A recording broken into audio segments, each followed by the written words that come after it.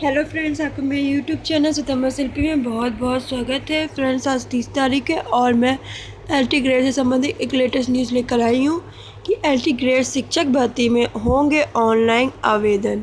तो फ्रेंड्स ये न्यूज़ आ चुकी है कि जल्द ही एल टी ग्रेड शिक्षक भर्ती में ऑनलाइन आवेदन चालू हो जाएँगे।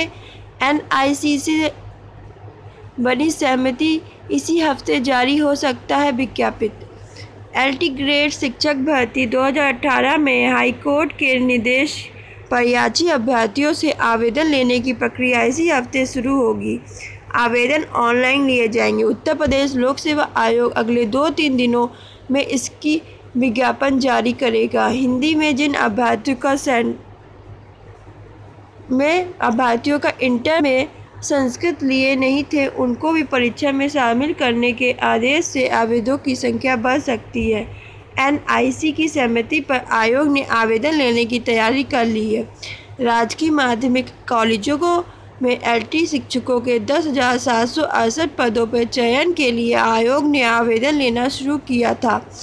उसी दरम्यान आयता को लेकर तमाम अभ्यर्थी कोर्ट चले गए थे। हिंदी और कला विषय में आयता के पेज और आयु सीमा को लेकर भी अभ्यर्थियों ने हाईकोर्ट में याचिका दाखिल की। उधर यूपी बोर्ड ने आयोग को पत्र भेजकर हिंदी शिक्षक को दो आयताएँ मान करने की स्थिति स्पष्ट कर दी थी। वहीं चौदह अप्रैल को इलाहाबाद हाईकोर्ट ने हिंदी विषय के उन अभ्यर्थियों को भी आवेदन करने की छूट दे दी, जिनका इंटरमीडिएट में संस्कृत विषय नहीं था। हालाँकि उनका चयन याचिका के अंतिम निर्णय पर आधारित होगा।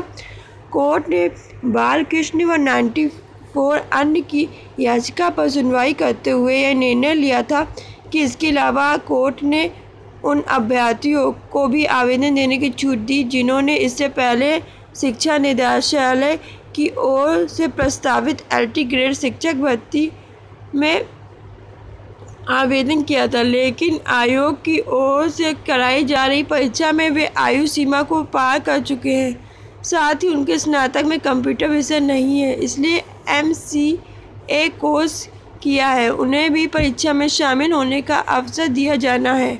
आयोग ने शिक्षक भर्ती की लिखित परीक्षा उनतीस जुलाई को प्रस्तावित कर याचिकों को शामिल होने के होने की पूरी तैयारी कर ली है। जगदीश सचिव जगदीश का कहना है कि दो तीन दिन में विज्ञापन जारी होगा। उन्होंने कहा है, कई याचिकाओं पर कोर्ट के आदेश अब तक आ रहे हैं और सभी को परीक्षा में शामिल किया जाना है। इसलिए कितने आवेदन होंगे, इसकी वास्तविक संख्या अभी निर्धारित नहीं है। साढ़े सात लाख आवेदन। एलटी ग्रेड शिक्षक भर्ती की परीक्षा देने के लिए साढ़े सात लाख आवेदन अभ्यर्थियों ने ऑनलाइन किए। याचिकों के भी आवेदन इसी संख्या में इजाफा करेंगे। इसकी संख्या में इजाफा करेंगे। तो फ्रेंड्स, क्या है मामला कि जो इन्होंने विज्ञापन जारी किया था कि हिंदी में जिन अभ्यर्थियों का इंटर में संस्कृत विषय नहीं था, उनकी भी परीक्षा में शामिल किया जाएगा। ठीक, एक ये है और दूसरा ये है कि स्नातक का कंप्यूटर विषय नहीं है, लेकिन एमसीए कोर्स किया है, उन्हें भी परीक्षा में शामिल करने का अवसर दिया जाएगा। तो ये दो अभ्यर्थियों को अवसर मिलेगा परीक्षा में शामिल होने का।